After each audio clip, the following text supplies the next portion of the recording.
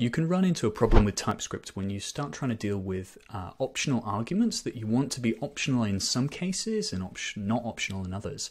Here we've got a send event function which takes in the event type, which is this event type up here, and an optional payload. And this payload is not really optional because we need to pass it when we pass login, but not pass it when we pass sign out, as you can see here. And these ones should error because we shouldn't even be able to pass like an empty payload here. Uh, we should not be able to pass an incorrect payload.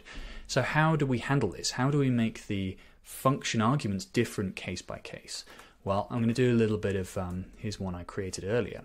This send event now takes in a generic, which is the event type. And here we do some crazy stuff based on that type.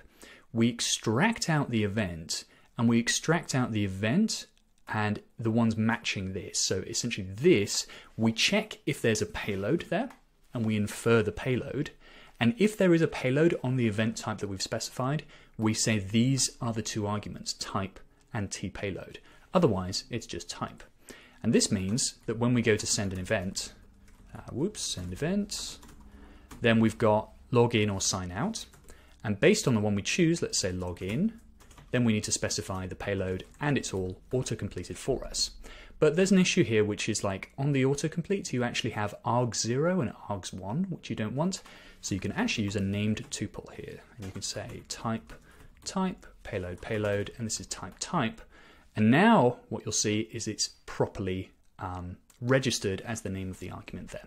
So it's kind of quite verbose this syntax but it's very very useful in some specific cases.